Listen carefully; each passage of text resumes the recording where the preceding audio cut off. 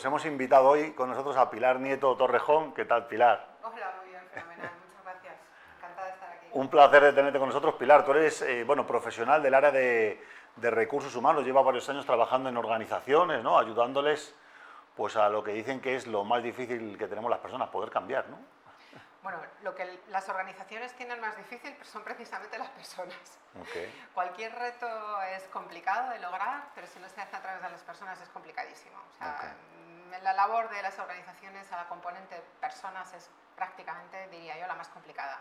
Y la que más hay que cuidar por otro lado, ¿no? Aquí viene mucha, mucha, mucha gente que habla de transformación digital, de crecimiento exponencial, pero la transformación digital no se puede conseguir si la gente no está dispuesta a transformarse tampoco, ¿no? Pues no. A ver, una transformación digital lo que conlleva es la instalación de algún elemento tecnológico, de alguna tecnología, de alguna nueva herramienta, pero al final em, no tendrá éxito suficiente si los usuarios de esas tecnologías no la utilizan en su máximo exponente. Ahí es donde la parte de gestión del cambio es, eh, bueno, eh, que parece algo muy abstracto, ¿no? Yo siempre digo, ¿no? Que es que es complicado definirlo, pero al final no es otra cosa más que lograr que aquello que tú estás visionando, instalar, cambiar, transformar, se consigue. Y además lo consigues viéndolo, o sea, que no sea algo abstracto o algo hipotético. Que se quede en el papel.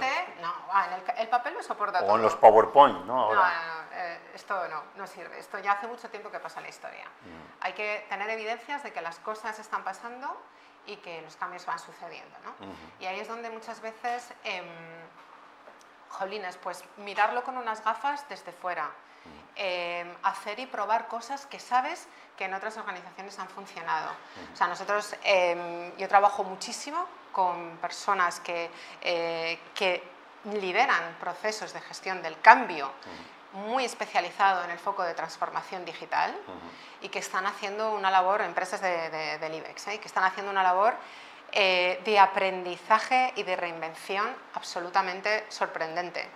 Entonces, pero muchas veces cuando vienen y te lo cuentan y yo digo, "Oscuas, es que esto mismo que tú estás haciendo lo están haciendo estos, estos y estos. ¿no?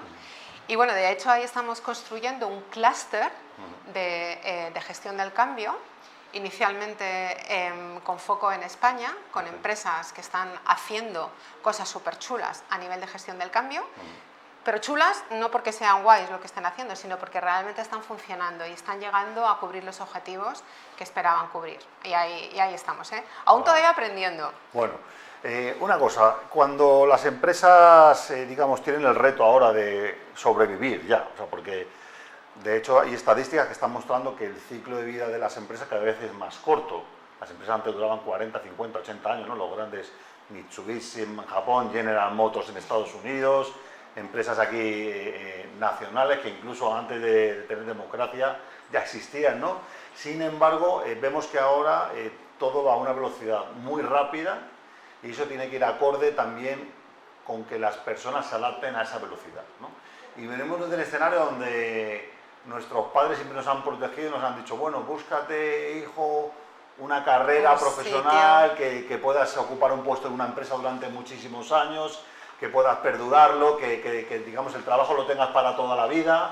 Y eso, sin embargo, está cambiando de una manera muy, muy rápida y ahora los jóvenes, sin embargo, lo ven de otra manera totalmente diferente, ¿no?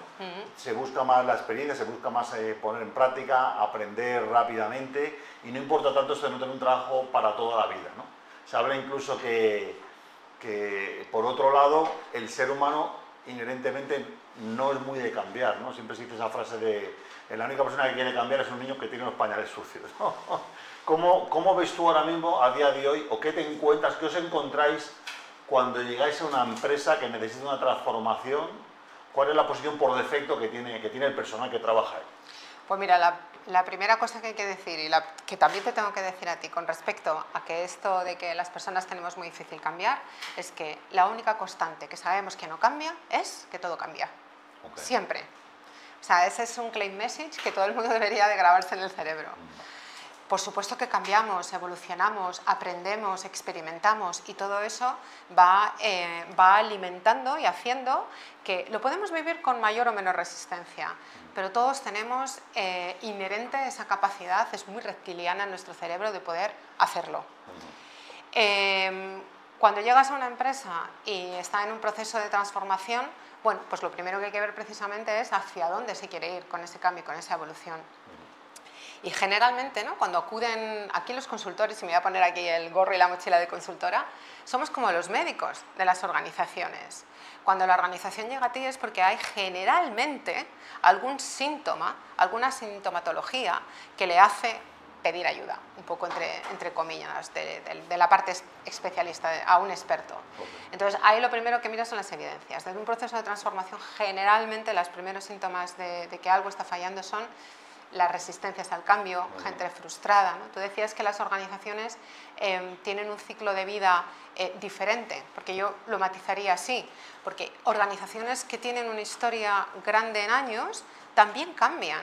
O sea, ¿quién no ha estado en una organización súper grande o no tan grande, una familiar? ¿no? Anoche estábamos en una cena en la que estaba una fundadora de una empresa súper tradicional en España, del sector alimentación, y y me encantó porque lo que ponía encima de la mesa era toda la evolución y todo el esfuerzo que hacían precisamente por no quedarse anclados, y hablando de marcas, de marcas del pasado, ¿no? y ver que la marca evoluciona, que la tecnología ayuda a ese, a ese cambio. ¿no?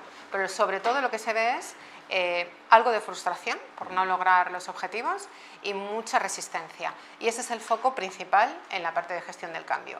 Identificar eso ver por qué sucede y oye, hoy en día tenemos cantidad de elementos como indicadores predictivos, eh, inteligencia del dato, experiencias aprendidas y conectar con la gente de un modo más cercano para abordarlo todo con una forma, bueno, pues de un camino hacia el éxito. Ok.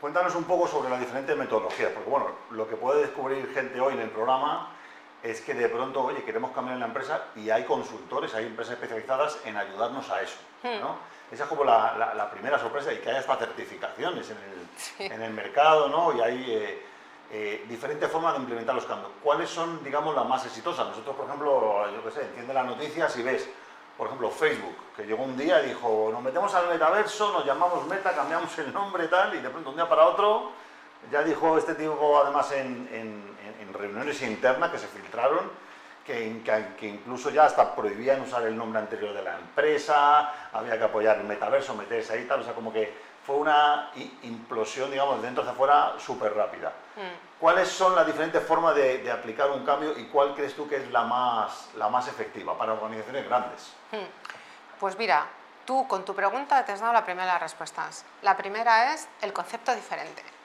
aunque sea la instalación o la, implantación de una misma tecnología en dos organizaciones, ¿el resultado crees que es idéntico? ¿Crees que, el proceso para llegar a ese mismo nivel? Claro, es diferente. Entonces, es lo primero que hay que tener en cuenta. Metodologías, existen muchas. Unas que llevan muchos recorridos en términos de año, que son muy conocidas y que si pones...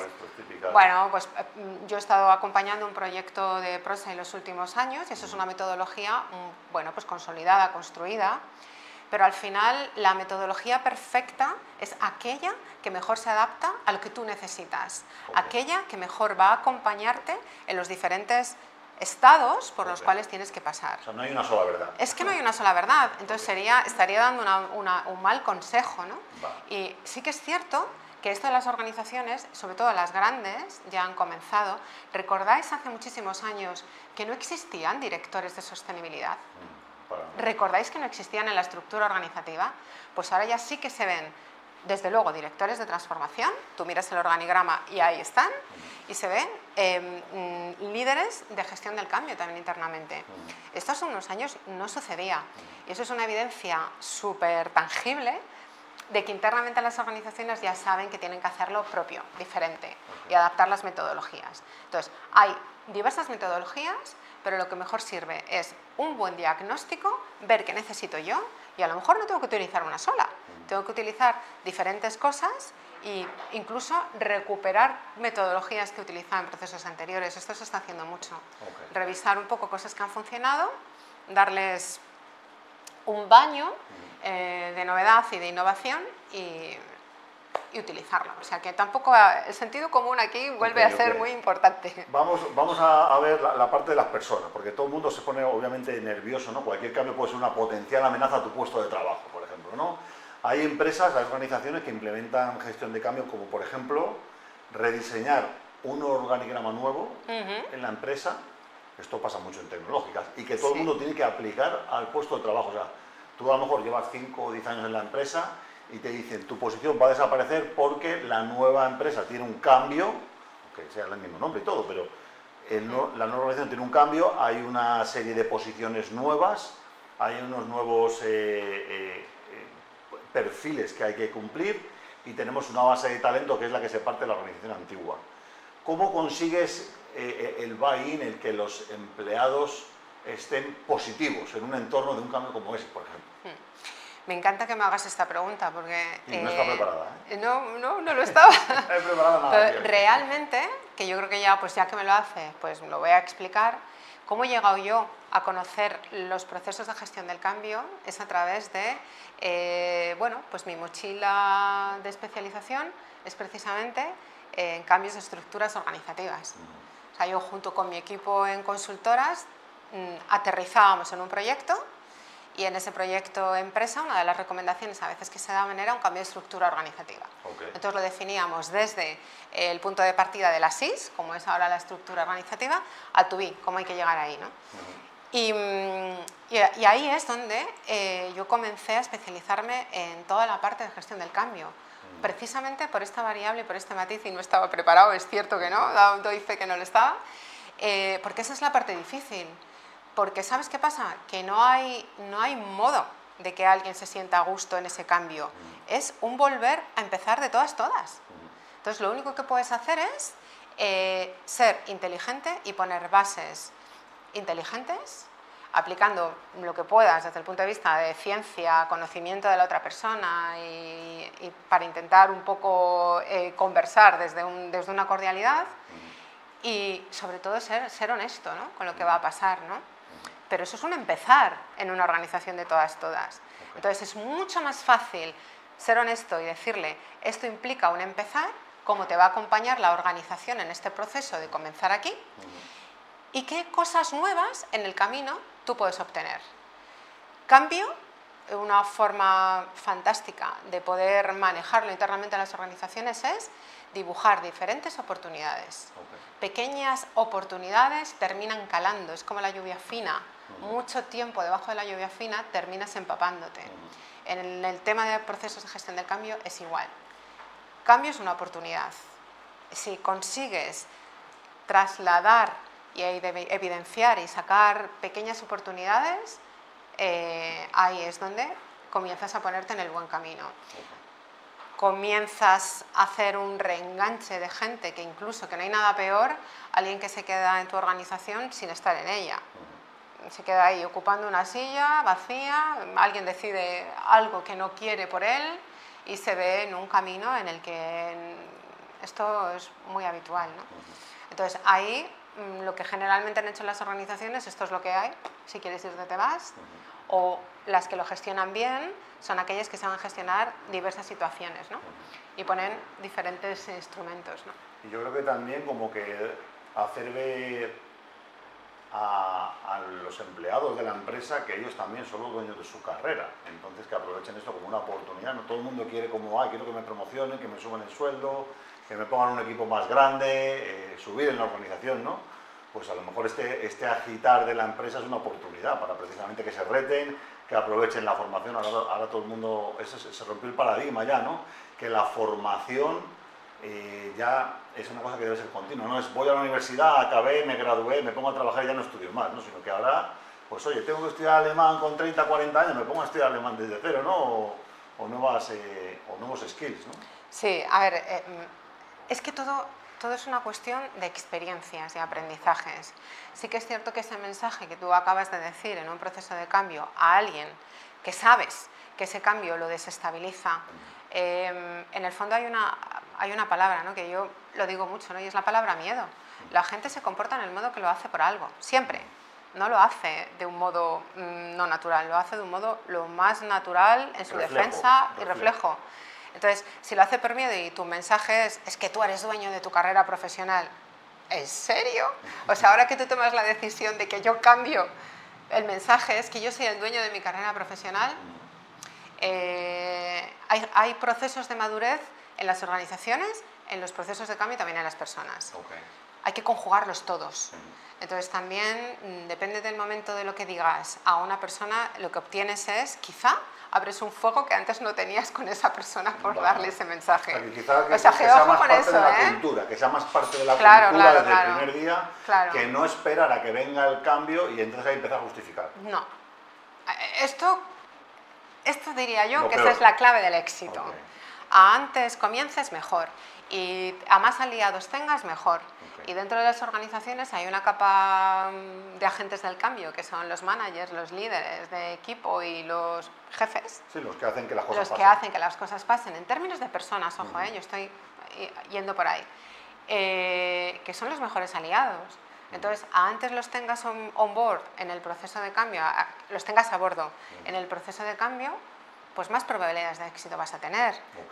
Esta es mm, este es el mejor, la mejor, el mejor firewall que tú puedes poner para que no se te generen fuegos donde antes no los tenías. Bien, Bueno, y, una última pregunta te iba a hacer, porque aquí vienen muchas startups y vienen startups de éxito y les pasa como al contrario, que cuando tú estás en una startup, eres pues, los fundadores, dos, tres personas, se monta un equipo de 10, empieza a entrar dinero, se sube 20, 50, 100 personas, es como todo muy divertido porque la comunicación es directa, aunque seas el último en, la empresa, el último que entra, puedes tener acceso a hablar con el CEO, pero llega un momento que eso empieza a crecer y hay que profesionalizarlo. Hay que implantar procesos, la empresa quiere llegar ya a 200, 500 personas. Y esto es un verdadero reto, sobre todo para las startups de base tecnológica, mm. que tienen que hacer un cambio, pero digamos que es un cambio de, aceleración, mm. porque ya entra a lo mejor la regulación, ya tienen que cumplir con normativas, eh, sacar certificaciones de calidad, que son cosas no tan sexys, que a lo mejor estaré programando, haciendo una app, no sé qué, que hacen nuevas funcionalidades, probando en el mercado como cuando estás en un garaje metido. ¿no? ¿Qué consejo o qué, o qué estrategia usarías tú para empresas que estén en esa situación? Porque es que son muchas, ¿eh? tecnológicas pequeñas que tienen éxito, crecen, consiguen financiación, pero de pronto empiezan a crecer mucho el número de empleados, se encuentran con 100 o 200 personas y ahora tienen que digamos, apaciguar las aguas. Voy a parecer muy mayor por decir esto, pero es que lo tengo que decir. Es que eso yo lo he vivido desde dentro. Ok, ah, pues, bueno, Yo he ejercido una posición de dirección de recursos humanos en una startup a nivel nacional, eh, donde justamente era esto. Entonces los procesos de comunicación eran informales, los procesos de operación del negocio eran informales. No había políticas de nada, ni políticas de viaje. Bueno, claro, cuando, intentas, cuando intentas comenzar a construir esto de una forma ordenada es muy complicado. Entonces tienes que, ahí lo que hay que hacer es eh, una matriz de toma de decisiones. Que, ¿Por dónde empiezo? ¿Con quién empiezo? y cuál es el proceso de implantación de esto. Y volvemos a lo mismo, ¿no? O sea, eh, hay muchas formas de hacer algo formal haciéndolo inicialmente informal. Y si es un entorno en el que la comunicación es muy a tú, como es una startup, es que es así, o sea, la comunicación, em, el trabajo en equipo, ¿no? el, el, sentir eso que estás construyendo en esa startup por las venas, es lo que construye al equipo y es lo que lo moviliza y es lo que le mete una presión y un empuje y una aceleración en tiempo brutal. Entonces, eh, poner eso en riesgo a la vez que vas ordenando cosas es complicado, ¿eh? Es muy complicado, es complicadísimo. Porque la gente que empezó al principio quizás no entraba tanto por un salario, sino que entraba más por el, por, el proyecto, ¿no? por el objetivo que, que, se tenía, por la misión. Claro, y se luego convierte... ya cuando hay que ampliar entra gente que ya tiene una posición, unos, unos, unos requerimientos, se le da un sueldo tal, y a lo mejor no tienen un salario variable, no tienen es otro, otro entorno, ¿no? Que convivan apóstoles con mercenarios, que era un ejemplo que yo ponía mucho. ¡Wow! Aquello generaba unas fricciones eh, brutales, ¿no? Y además los apóstoles, junto con aquellos visionarios, o sea, que, que, es como que constantemente están eh, generando ese caldo de cultivo para hacer una startup de lo que ya tenemos en proceso de construcción, ¿no? Es, es complicado. Eh, el consejo aquí eh, no es parar, porque tú no puedes poner en riesgo el día a día del negocio, sería un consejo muy absurdo desde el punto de vista de eficiencia y rentabilidad del, negocio, ¿no? pero sí ordenar. Y hay que hacer una, eh, una, matriz de prioridades y de toma de decisiones. ¿Qué cinco decisiones? Cinco, ¿eh? tampoco hace falta que te vuelvas loco. ¿Qué cinco decisiones clave son las que tengo que estructurar de algún modo, ordenar de algún modo o operar de algún modo diferente? Qué cosas son las que son diferentes y les pongo un peso relativo. Y ahí, aritméticamente, obtienes una ponderación de, por dónde tienes que empezar. Una vez tienes, que, tienes esto claro, lo que no funciona bajo ningún concepto es que lo haga uno solo. Tienes que crear grupos y eh, ecosistemas colaborativos para acompañarte ahí. Y a más multifuncional sea en el caso de, las startups, porque yo también he hecho asesoramiento a bastantes startups en este sentido, eh, a, más, eh, a más multifuncional sea, es decir, si es un tema de recursos humanos, no metas a gente de recursos humanos, mete gente incluso recién incorporada, algún mercenario de estos que te decía, lo mezclas con algún apóstol. Hay que hacerlo un poco de una forma disruptiva. Y lo trabajas así y así es como mejor yo he visto que les funciona. Y sobre todo pedir asesoramiento externo. Porque otra de las grandes carencias en las startups es que son buenos preguntando y buscando ideas desde el punto de vista del negocio, pero, desde el punto de vista organizativo y desde el punto de vista de estructura, os les cuesta un montón pedir ayuda. Como que... No, y ya vas crecido, vas con el ego de, ah, ya estamos... Claro, ya, ya lo puedo hacer todo, esto también. y no, enseñar nada. y no, las personas es lo, lo, más complejo y es lo que más les cuesta. Y es lo que más cuesta. Y, si lo pierdes, pierdes el talento, pierdes todo. Exacto, justo. Y es el elemento más frustrante en una startup. Cuando eh, ven que alguien brilla mm. internamente y ese alguien se va porque no está en acuerdo o conforme con cómo ha evolucionado el proyecto, es, es, tal el impacto interno que a veces es incluso eh, complicado de reconducir, ¿eh? es muy complicado. Bueno, pues, muy interesante el mundo de las startups Torrejón, ella es la Chief Growth Officer, partner y fundadora de People and Change. Bueno, yo soy muchas cosas, me tienes que invitar muchos días para que yo te cuente Sí, no, porque además este es un tema, el tema de personas que, que, es un tema que no tratamos mucho en el programa de tecnología, pero sí que es cierto que es piedra fundamental en el tema del talento. Ya tuvimos la semana pasada un coach de conflictos en equipos de tecnología, ahora contigo tenemos el tema de gestión de cambio y yo creo que seguiremos haciendo estas partes porque es una parte que pesa, pesa mucho y cuando las empresas ya están andando, ahora tienen que crecer y hace falta pues eso, gente que tenga la experiencia de, estos años como tú, ayudando a las empresas a poder estructurarse, implementar cambios y bueno, pues ser como hay que, hay que hacerlo. Las personas somos maravillosas, pero en general tenemos una mente perversa, muy mal pensada en cualquier cambio tecnológico y, entonces pues hay instrumentos para poder eh, cuidarlas y sobre todo pues, eh, a ver, esto va a sonar también un poco mal, ¿no? Pero exprimir para sacar lo mejor de cada uno en ese proceso de cambio y que sea una experiencia pues satisfactoria. Bueno para todos. Muy bien, Pilar. Bueno, pues muchas gracias pues por acompañarnos.